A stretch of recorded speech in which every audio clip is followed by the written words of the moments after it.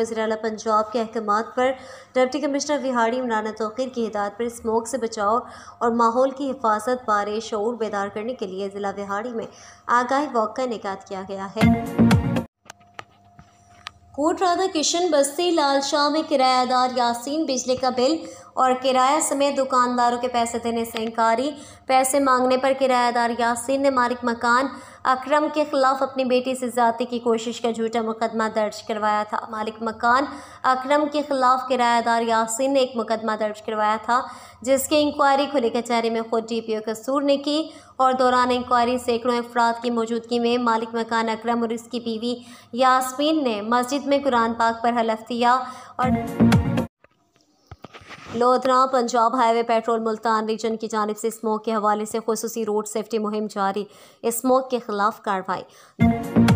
शहीद बेनजरबाद सकरंड सिंध बैंक ने बारिश मुतासरीन के पैसे लेने गए लोगों को अजियत की जंजीर बना दी।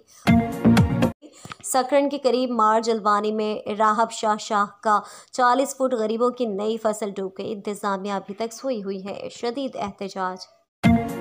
मोरू के नवाही गाँव साहब खान दाहरी में कारोबारी पैसों के तनाज़े पर छोटे भाई ने ट्रैक्टर चढ़ाकर बड़े भाई को कत्ल कर दिया।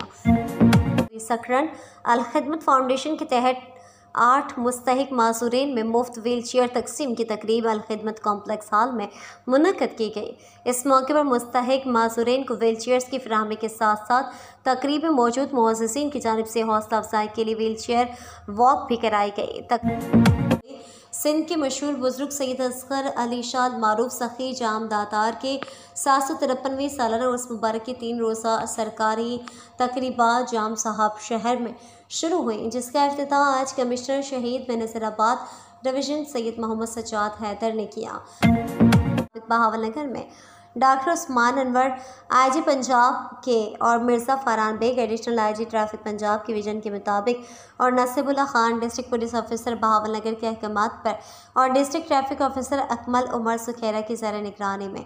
आज गुड्स ट्रांसपोर्ट अड्डा बहावल नगर में धुआँ छोड़ने वाली गाड़ियों के मुतालिक ट्रैफ़िक वॉक का निकात किया गया।